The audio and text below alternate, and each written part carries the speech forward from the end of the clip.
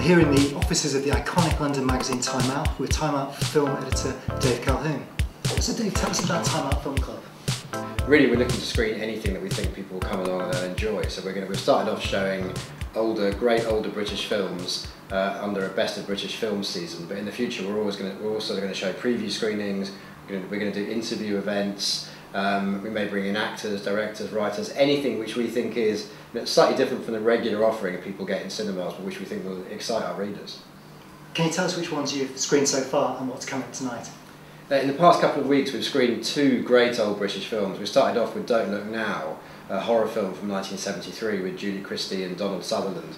Um, for each of these events, we were inviting special guests down, either guests who were actually in the films or made the films, or just famous writers, directors, actors who love them and want to talk about them. So for Don't Now, we had David Morrissey come down and introduce it to, uh, to the audience. And then last week, we had Terry Gilliam's brilliant 1980s film Brazil, crazy, epic sci-fi fantasy from, I think, 1984. And the star of that film, Jonathan Pryce, uh, came down. He's, already, still a working actor, lives here in London. Uh, he made it almost 30 years ago now, he came down to talk about his memories of making that film with Terry Gilliam and Robert De Niro here in London. It was fantastic. The audience loved hearing him, uh, all his anecdotes, especially about working with De Niro, working with Terry Gilliam, and, and, and also you know, how he thinks the film has stood up over the years as well.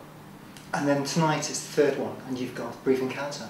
Yeah, tonight we're showing David Lean's Brief Encounter from 1945, a film that was made just as the Second World War ended, and it's a classic romance plays often on television, DVD favourite, but people, we've realised that people are really loving to come out and watch this actually in a cinema. And it's an opportunity to see a film up there on the big screen in a way people don't often get. And tonight we've got, unfortunately, David Lean, Celia Johnson and Trevor Howard who all made the film. They're not around anymore. But we've got the brilliant young British actress Sally Hawkins is coming down. She's, she's a fan of the film. It's one of her favourite films. Um, we did a survey of uh, people in the film industry and their favourite films recently, and I think she picked it as number two. She's coming down to explain why she loves the film. Uh, so we're down here at Cineworld Haymarket, just then we're going to be starting our uh, special screening of Brief Encounter in about 40 minutes now. So we're just waiting for people to arrive and uh, for the cinema to fill up.